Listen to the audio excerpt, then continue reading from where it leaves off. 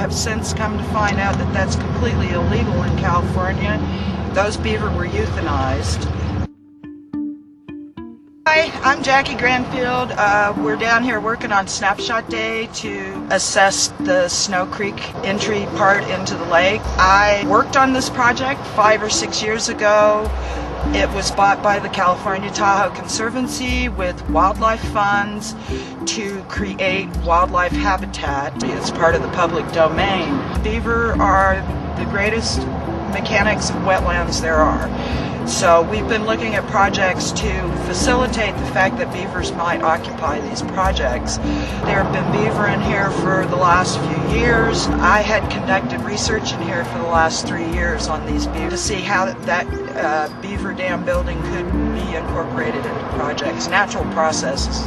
That research uh, stopped a year and a half ago when they killed the beaver. Caltrans became concerned about the level of the water around the highway because uh, in the past this area has a lot of flooding problems.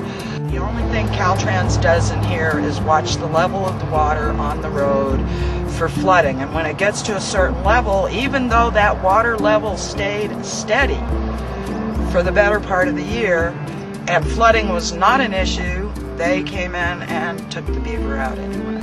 I was told that the beaver were relocated. I have since come to find out that that's completely illegal in California. Those beaver were euthanized. Prior to that, this area was just beautiful, teeming with life. The entrance, the main entrance is over on this side, and then there's another uh, entrance on the other side of it. And they make their, they have numerous uh, tracks they use that are underwater. When they put the beaver down, they did not touch the dam, which was the cause of the raised water that they were concerned about. So for the last year, the water level's been the same, but only no beaver. And I honestly don't know who came in and knocked the dam. 15.4 centigrade. Getting Yeah, a pretty good, uh, getting a pretty good database. When you're doing this kind of work, if you need to get into the creek to do it, you have to be downstream. Stuff working, that would be pretty normal.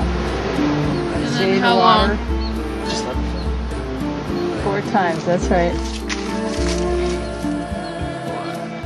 Now this is for dissolved oxygen. Right.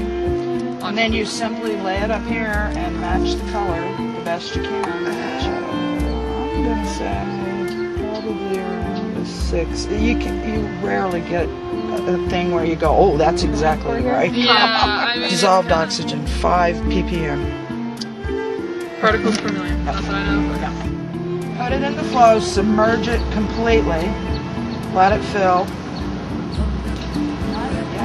And then, actually, yeah, you need to empty it completely and then do that again two more times. And then put the cap in.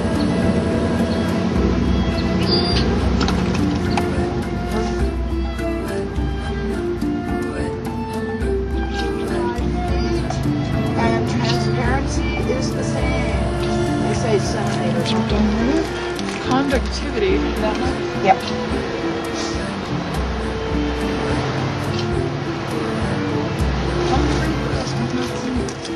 Compare the resultant color with the color segments printed on the strip. Transparency same. I'm going to make a big feet on it so they know they've got to convert it. Just FYI, you, ne- you need to be very careful about the units Hmm.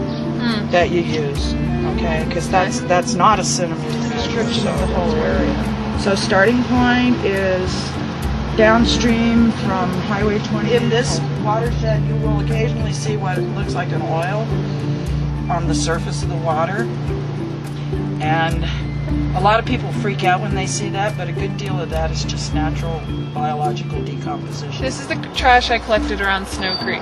As you can see. Dangerous broken glass. Yep. The point.